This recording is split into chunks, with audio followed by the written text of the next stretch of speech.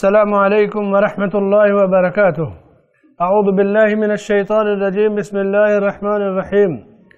مثل الذين اتخذوا من دون الله أولياء كمثل العنكبوت اتخذت بيتا وإن أوهن البيوت لبيت. لبيت العنكبوت لو كانوا يعلمون. إن الله يعلم ما يدعون من دونه من شيء وهو العزيز الحكيم. لوگوں کی مثال جنہوں نے اللہ کے سوا دوسروں کو معبود بنایا۔ مکڑی کی سی ہے؟ جس نے گھر بنایا۔ اور یقیناً گھروں میں سب سے کمزور گھر مکڑی کا ہوتا ہے۔ کاش کے لوگ جانتے۔ یقیناً اللہ تعالیٰ اس حقیقت کو جانتا ہے، جسے وہ اس کے سوا پکارتے ہیں۔ اور وہ غالب حکمت والا ہے۔ نظرین کرام، یہ سورہ العنکبوت کی دو آیتیں، اکتالیس اور بیالیس۔ انکبوت کے معنی مکڑی۔ اس سورہ کا نام العنکبوت ہے۔ یعنی ایسی سورہ جس میں اللہ نے مکڑی کا ذکر کیا۔ مکڑی کی مثال دے کر کے لوگوں کو دین سمجھایا، توحید سمجھائی۔ تو فرمائے کہ مثل الذین اتخذوا من دون اللہ اولیاء۔ عبادت اللہ کی کرنی چاہیے۔ اللہ تعالیٰ ہی عبادت کا مستحق ہے وہی معبود برحق ہے اس کے سوا کوئی عبادت کے لائق نہیں۔ لیکن دنیا میں ہمیشہ کچھ لوگوں نے اللہ کو چھوڑ کر کے غیر اللہ کی عبادت کی ہے۔ جب سے شرک کا دور شروع ہوا، کچھ لوگوں نے اپنے ہاتھوں سے اپنا معبود تراشا اور اسے رکھ دیا کسی جگہ اور عبادت کرنے لگے۔ کچھ لوگوں نے ایسے ہی پتھروں کو تراش کر کے معبود بنا لیا۔ کچھ لوگوں نے درختوں کو اور انسانوں کو معبود کے طور پہ مقرر کر لیا۔ اللہ نے تمام ایسے لوگوں کی مثال دی اور بتایا کہ جو اللہ کو چھوڑ کر کے غیر اللہ کو معبود بناتے ہیں، ان کا سجدہ کرتے ہیں، ان سے مدد مانگتے ہیں، انہیں مختار کل سمجھتے ہیں اور انہیں اللہ کا شریک اور ساجھیدار سمجھتے ہیں۔ ایسے تمام لوگوں کا ذکر کیا کہ مثل الذین اتخذوا من دون اللہ اولیاء کمثل العنکبوت اتخذت بیتا جس طرح کوئی مکڑی گھر بناتی ہے. مکڑی گھر کیسے بناتی ہے؟ مکڑی کی مثال دیا اللہ تعالیٰ نے. انسان بھی گھر بناتا ہے، مضبوط طاقتور گھر بناتا ہے، پرندے بھی اپنا گھونسلہ بناتے ہیں. مکڑی اپنے لعاب سے، محنت سے ایک گھر بناتی، بڑی محنت سے جو ہے جالا تن کر کے، تان کر کے اور دیواروں کے اوپر، چھتوں کے نیچے مکانوں میں گھر بناتی وہ یہ سمجھتے کہ اس کا گھر بڑا مضبوط ہے۔ حالانکہ ایک معمولی سی ہوا کا جھونکا، ایک چھوٹی سی لکڑی، کوئی بچہ اگر اس کے گھر کو اجاڑنا چاہے تو فوراً اجاڑ دے گا۔ تو مکڑی جس طرح کمزور مکان کے بنانے کے باوجود اپنا مکان مضبوط سمجھتی ہے، اور وہ یہ سمجھتے کہ اس میں وہ محفوظ ہے۔ اسی طرح مشرق جو اللہ کو چھوڑ کر غیر اللہ سے مانگتا ہے، غیر اللہ کی عبادت کرتا ہے، وہ انتہائی کمزور ہے۔ اس کا ایمان کمزور، اس کا عقیدہ کمزور، اس کی بنیاد کمزور، اس کی اساس اور جھڑ کمزور اور اتنا کمزور جس طرح مکڑی کا جالا کمزور ہوتا ہے۔ اور گھروں میں سب سے کمزور گھر مکڑی کا گھر ہوتا ہے۔ وہ ان اوہن البیوت لبیت العنکبوت اسی لیے اللہ نے فرمایا مشرقین کے بارے میں کہ انکم وما تعبدون من دون اللہ حسب جہنم انتم لہا واردون لو کان هؤلاء آلہہ ما وردوها وکل فیہا خالدون۔ مشرقین جن کی عبادت کرتے ہیں، وہ اور عبادت کرنے والے یعنی اپنے معبود کے ساتھ وہ جہنم میں ڈالے جائیں گے۔ جن پتھروں کی، دیوی دیوتاؤں کی پوجا کرتے ہیں، اللہ کو چھوڑ کر جن کا بھی وہ سجدہ کرتے ہیں وہ اپنے معبودوں کے ساتھ جہنم کے اندر ڈالے جائیں گے۔ کوئی نیک انسان ہے، اللہ والا ہے، کوئی ولی ہے، بزرگ ہے، رسول ہے، اگر اس کی عبادت ہوتی ہے تو وہ اس سے بری ہے۔ قیامت کے دن عیسیٰ علیہ السلام کو میدان محشر میں اللہ تعالیٰ بلا کر پوچھیں گے، اے عیسیٰ، کیا تم نے کہا تھا، میری وفات کے بعد یا میرے دنیا سے اٹھائے جانے کے بعد میرے بعد تم لوگ مجھے اور میری ماں کو معبود بنا لینا اللہ کو چھوڑ کے؟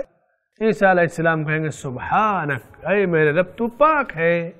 میں وہ بات کیسے کہہ سکتا ہوں جس کا تو نے مجھے حکم نہیں دیا؟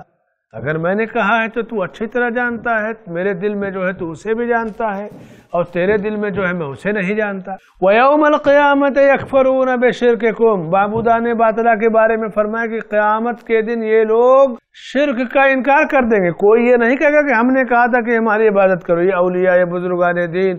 یا اما محدثین یا صحابہ یا انبیاء اور رسول جن کی لوگ عبادت کرتے پوری مشینری عیسائی دنیا عیسیٰ علیہ السلام کو معبود بنائے ہوئے ہیں۔ اور اسی طرح سے اولیاء اختاب کے نام پہ جو سجدے ہو رہے ہیں، اللہ کے نام پہ، اللہ تک پہنچنے کے لیے غیروں کے سارے کے سارے دروازے اس دن بند ہوں گے۔ اور سب لوگ انکار کریں گے کہ ہم نے نہیں کہا تھا کہ ہمیں معبود بناؤ۔ تو فرمائے کہ گھروں میں سب سے کمزور گھر مکڑی کا ہوتا ہے۔ گرمی آئے گی تو بھی وہ مکڑی کا گھر اس کو برداشت نہیں کرے گا۔ ٹھنڈی آئے گی تو بھی اس میں ٹھنڈی لگے گی۔ ہوا کا جھونکا آئے گا تو بھی اسے اڑا لے جائے گا۔ معمولی سا مکان ٹپک رہا ہے، بارش آئی تو بھی اس میں پانی آئے گا۔ کوئی چیز اس میں رکھو تو رک نہیں پائے گی، گر جائے گی۔ کون سی خوبی اس مکان میں ہے؟ کسی لحاظ سے وہ مکان حفاظت نہیں کر پائے گا۔ گھروں میں سب سے کمزور گھر ہے۔ یہ مثال دے کر اللہ نے مشرق کی پوری عبادت، پورے عمل، پوری زندگی کا ذکر کیا کہ جس طرح اس کا گھر سب سے کمزور ہے، اسی طرح تمہارا گڑھا ہوا سارا کام بالکل بودا اور کمزور ہے۔ اور مثال کیوں اللہ تعالیٰ دیتا ہے؟ مثالیں دیتا ہے سمجھانے کے لیے۔ تو فرمائے کہ ان اوہن البیوت لبیت العنکبوت۔ اس آیت میں، سورہ العنکبوت کی اس آیت میں جو مسائل ہمارے سامنے آتے ہیں، پہلا مسئلہ، شرک سب سے برا عمل ہے، شرک کی مذمت کی گئی، اس سے خطرناک کوئی عمل نہیں۔ دوسرا مسئلہ، چاہے بت ہو، چاہے دیوی دیوتا ہو، چاہے اللہ کو چھوڑ کر جتنے بھی کسی بھی شخص کو کوئی معبود بنائے کسی فرشتے کو، رسول کو، نبی کو، ولی کو، یہ نفع نقصان کے مالک نہیں۔ قیامت کے دن کوئی کسی کے کام نہیں آئے گا۔ عبادت کا مستحق صرف اللہ کی ذات ہے۔ تیسرا مسئلہ جو اس آیت میں بتایا گیا کہ اللہ مثالیں دیتا ہے۔ مثالیں دے کر سمجھانے سے بات جلدی سمجھ میں آتی ہے۔ جیسے اللہ نے کہیں مچھر کی مثال دی ہے، کہیں مکھی کی دی ہے۔ بری آواز کے لیے گدھے کی آواز کا ذکر کیا ہے۔ مرغ کی آواز کا ذکر کیا ہے۔ الگ الگ جگہوں پہ جہاں ضرورت پڑی، انسانوں کے مزاج، نفسیات کو دیکھ کر کے اللہ نے مثالوں سے دین کو سمجھایا ہے۔ چوتھا مسئلہ، گھروں میں سب سے کمزور گھر مکڑی کا گھر ہے۔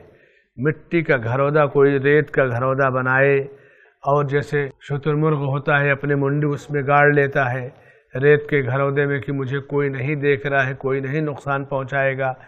مکڑی کا گھر ہے، تو یہ کمزور گھر ہے۔ ان مثالوں کو دیکھ کر اللہ بتانا چاہتا ہے کہ جس طرح یہ کمزور مکانات دنیا میں ہوا سے، پانی سے، ٹھنڈی سے، گرمی سے کسی چیز سے نہیں بچا سکتے، اسی طرح تمہارا ایمان، تمہارا عقیدہ، تمہارا عمل، تمہاری سوچ، فکر سب کمزور ہے۔ یہ کہیں بھی نہ تمہیں اللہ کے عذاب سے بچا پائیں گے، نہ اللہ کی گرفت سے بچا پائیں گے، نہ اللہ کی پکڑ سے بچا پائیں گے۔ مضبوطی حاصل کرو، ایمان کی، عقیدے کی، منہج کی سلامتی ہو، عمل پر استقامت ہو۔ جتنا زیادہ مضبوط رہو گے اتنا زیادہ اللہ سے قریب رہو گے اللہ سے دعا ہے کہ اللہ تعالیٰ مثال کے ذریعے جو بات ہم کو بتا رہا ہے، اس مثال کو ہمیں سمجھ کر کے اپنی زندگی کو توحید کی پختگی کے ساتھ گزارنے کی توفیق بخش آمین۔ سامعین کرام، ناظرین کرام، سورہ الکبوت کی اکتالیس نمبر آیت کی تفسیر کے بعد اب جلدی ہم حاضر ہوں گے آپ کی خدمت میں۔ انشاءاللہ اس کے بعد والی آیت بیالیس اور ترالیس کے ساتھ آپ ہمارے ساتھ جڑے رہیے۔ جب تک کے لیے اجازت دیجیے اللہ آپ کو اپنی رحمتوں کے چھاؤں میں رکھے۔ جزاکم اللہ خیر۔ السلام علیکم ورحمۃ اللہ وبرکاتہ۔ سماج سے برائی مٹانے میں آئی پلس ٹی وی کی مدد کریں۔ اپنا تعاون آن لائن ٹرانسفر کریں۔ ایسے ہی اور ویڈیوز بنانے میں ہماری مدد کریں۔